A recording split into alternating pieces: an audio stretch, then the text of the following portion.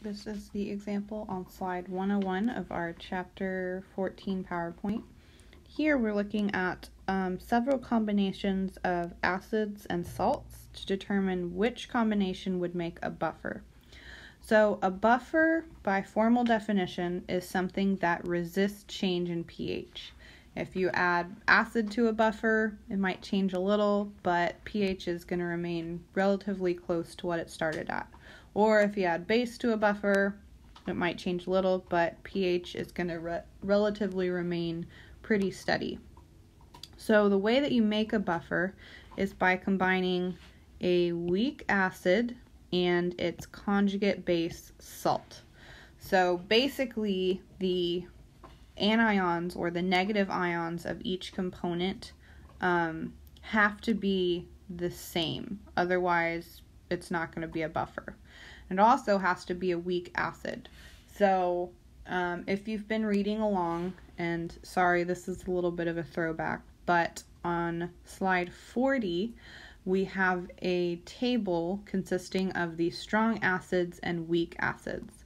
Um, so, we're going to use that, or I'm going to use that to consult to make sure that I um, am only picking weak acids and their conjugate base salts.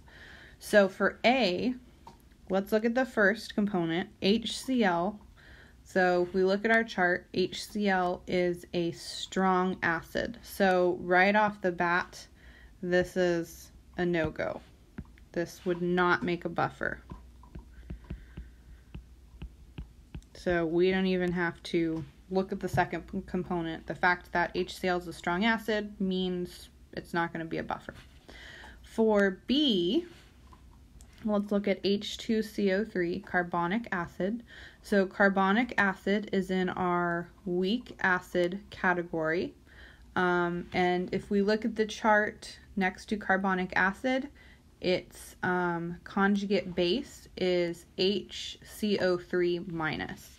So this is a weak acid. I'm going to put WA. And this component of the salt um, is its conjugate base. So therefore, yes, that would make a buffer. It's got a weak acid and a conjugate base salt. Salt meaning that it's positive and negative ion paired together. It's an ionic compound. All right, for C, so I can look at the first component, H3PO4. It is a weak acid, but if we look at the second component, these two have nothing to do with each other. They don't have any of the same components. Therefore, this guy, not a buffer.